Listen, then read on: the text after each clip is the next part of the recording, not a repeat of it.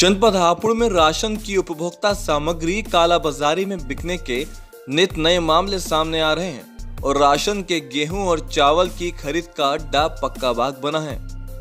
नया मामला थाना हापुड़ देहात के गाँव सलाई का है, जहाँ से कालाबाजारी में बिकने जा रहा राशन का चावल ग्रामीणों ने पकड़कर पुलिस को सौंप दिया। राशन का ये चावल तांगे में लदा था, जिसका मूल्य लाखों रुपए है। thank you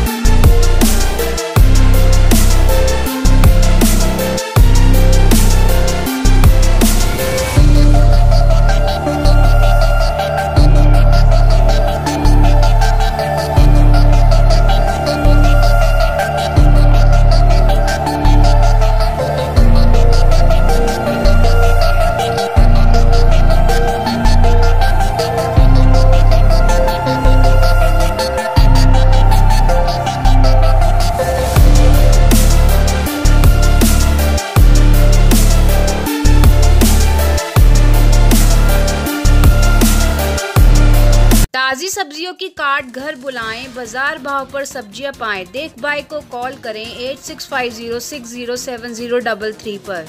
मेरा नाम जी ओमकार है। मुझसे नो कहे कि दस कट्टा मेरे गेहूँ के हैं और उनमें से छह बोरी रात अब के लिए। खालिद डीलर के। मैं भरने चला गया सलाई से। कौन से काम के सलाई से? हाँ जी मैं तो एक भाड़े वाला हूँ। सलाई से। कहाँ भेजा है ना बेचने के लिए?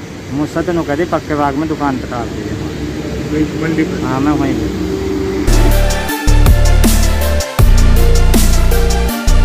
गाँव काठी खेड़ा के तांगा चालक ओमकार ने बताया कि वो ये चावल गाँव सलाई की एक राशन की दुकान से लेकर पक्काबाग मंडी के लिए चला था।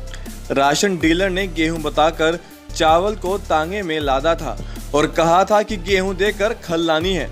जब वो तांगा लेकर जा रहा था तो भीमनगर पुलिस चौकी के पास कुछ लोगों ने उसे रोक लिया और पकड़कर थाना हापुड़ देहात ले आए। खाद्य आपूर्ति विभाग के अफसर मामले की जाँच में जुटे हैं।